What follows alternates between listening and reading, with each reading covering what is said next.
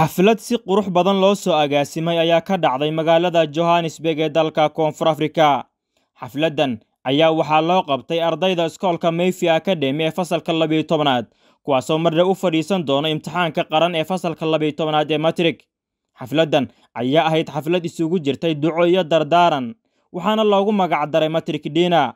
Waxaa ka soo qayb galay waalidiinta ardayda macallimiin maamulayaasha iskoolka qaar ka mid ah diblomaasiyiin ka socday safaaradda soomaaliya ee uu horkacayay siihayaha safaaradda mudane yuusuf cumar. Qaar ka mid ah waalidiintii ardayda oo maadaasha ka hadlayna hadalladoodii waxaa ka mid ahaa sida tan.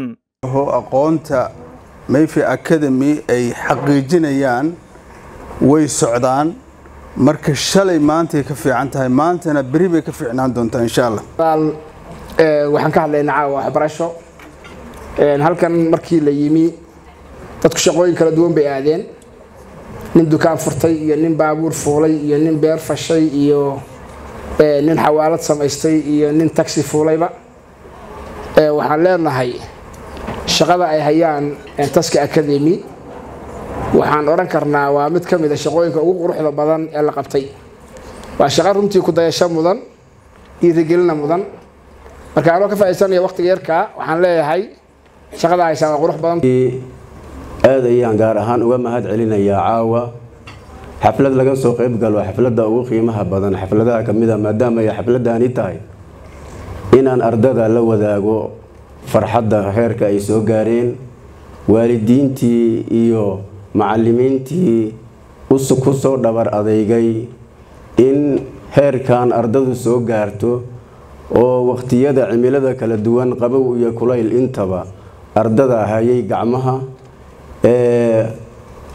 waqtiga aan ognahay ama jaaliyad ahaan wadankan aan hadda joogno oo aan ognahay ardada inay ka duwan tahay wadamadeenii kale markaan joognay waxbarashadii graduating students around the world and especially here in Mayfair Academy.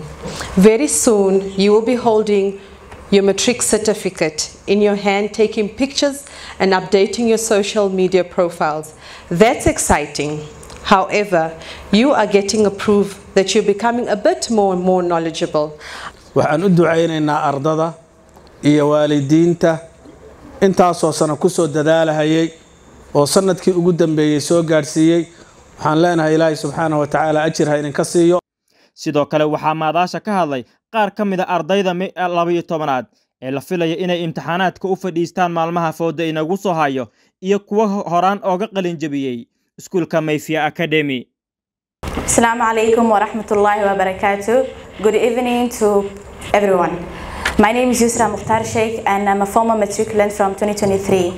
I stand before you today as someone who's walked in your shoes, having completed my matric just a year ago. I understand the pressure, the stress, and the uncertainty that comes with this critical juncture.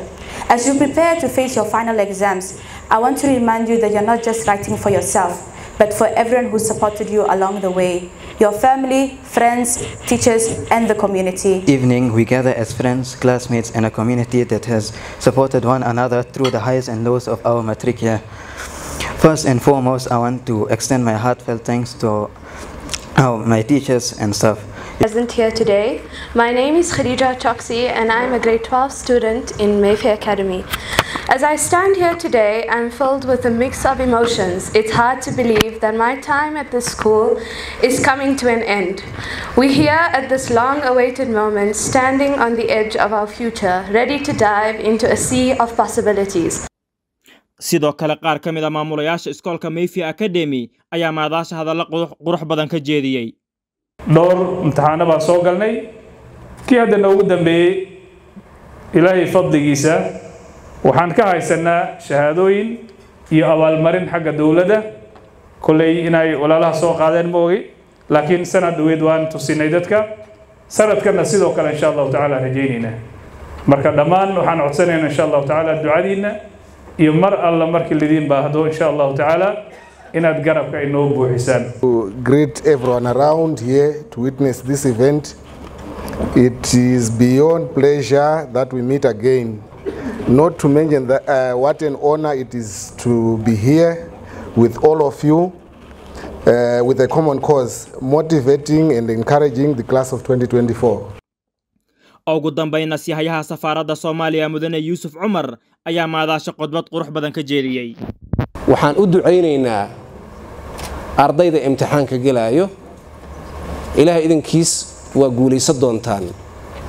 Waxaana xasuusinayaa haddii af soomaaliga yaqaanaan waxaa la soo maray meesha aan hadda degannahay annagoon madaaris iyo masaajid iyo iskuulo oo formal educationa aanan ku lahaynin waxay ku tusinaysaa marka inaan qayb ka mid ah koonfur africa inaan nahay.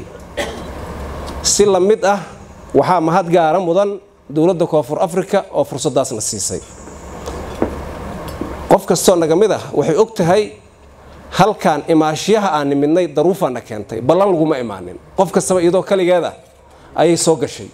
Laakiin waxay ka maarmi weysay inaan isbahaysanno isla noolaanno halkaas aan madaaris iyo masaajidyo aan ku samaysanno waxaan dhihi karaa macallimiinta iskuulkaas waan dhinac istaagaynaa inta karaamkayna ah. Cabdirashiid xuseen karaash raadiyaha iyo tv-ga shabeelle magaalada johannesburg ee dalka koonfur afrika